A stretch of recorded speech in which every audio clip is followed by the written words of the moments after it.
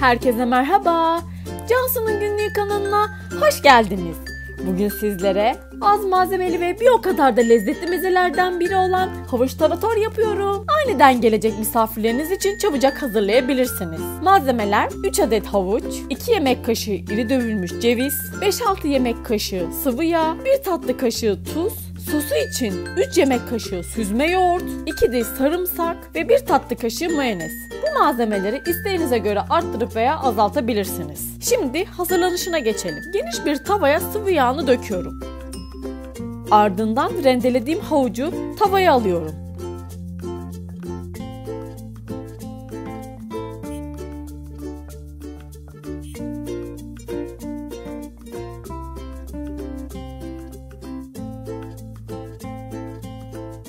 Tuzunu ilave ediyorum.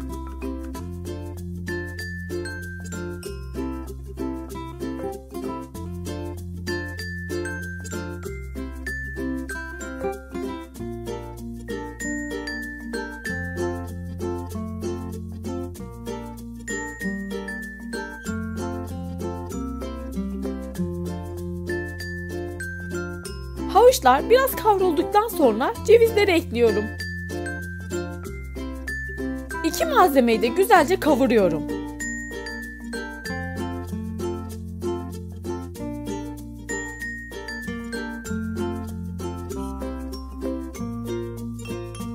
Havuçların rengi döndü ve cevizle özdeşleşti. Artık altını kapatabilirim. Soğumaya bırakıyorum. Yoğurt sosunu hazırlayalım. Derin bir kabın içine süzme yoğurdu kaşık yardımıyla döküyorum.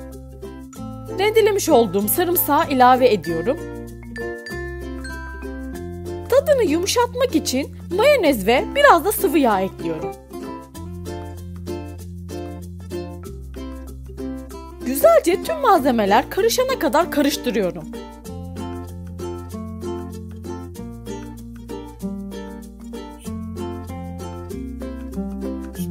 Şimdi de soğuyan havuçlu karışımı ekliyorum.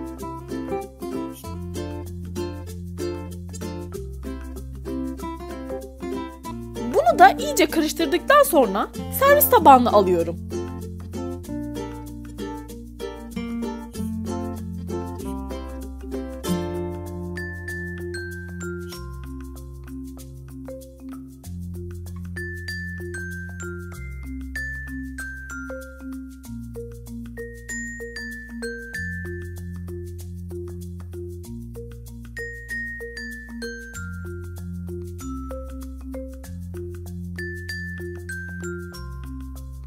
Evet, havuç tarator hazır. Şimdi sizin için tadına bakalım.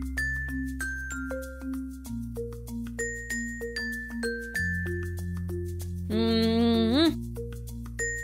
Vallahi nefis olmuş. Deneyen herkese şimdiden afiyet olsun. Kanalıma abone olmayı ve beğen tuşuna basmayı unutmayın. Sevgiyle kalın.